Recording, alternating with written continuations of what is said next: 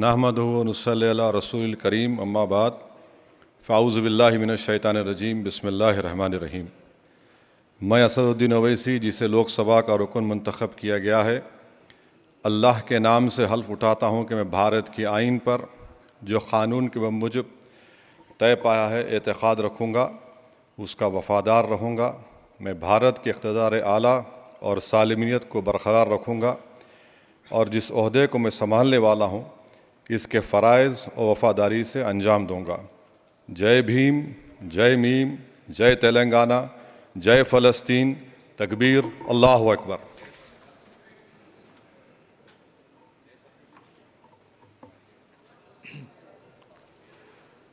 Shri